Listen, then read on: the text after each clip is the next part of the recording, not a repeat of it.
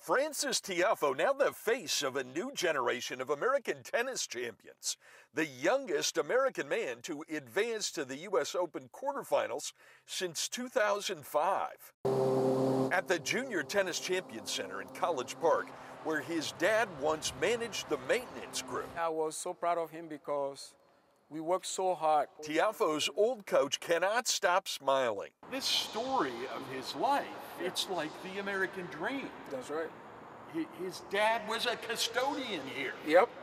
He, he helped build this place. Tiafoe's face gazes down from the JTCC Wall of Champions.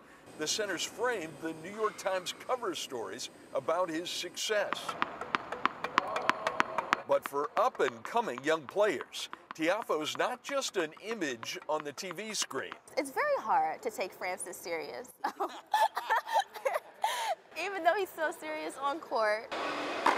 He's the guy who is always stopping by to play around with them. You never really see Frances uh, down or mad or anything. So when I'm down, he always like cracks a smile or joke with me, play with me, or like uh, throw a piece of paper at me or something like that. It's nice to see someone that came up from the same place as me just do something so incredible. Tiafoe's discipline rooted in ambition for himself and his parents, immigrants from Sierra Leone. Mom was working two jobs as a nurse and, and Pop's working there, you know, 24-7.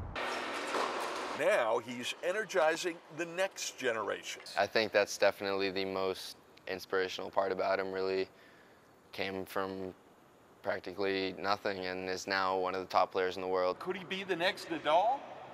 I can say yeah. The quarterfinal, Wednesday at 1. In College Park, Bruce Leshan, WUSA 9.